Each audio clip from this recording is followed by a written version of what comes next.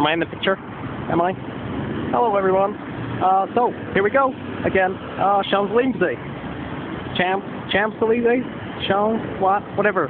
Uh, bonjour. And, uh, here I am. Oh, just suis ici. Ah, yeah. Uh, and you can just see it's a massive roundabout. Lots of cars. Yeah. Uh, oh yeah, I'm down the road. No, that's the Champs-Élysées. That's right. Uh, that's the Arc de Triomphe. Triumph?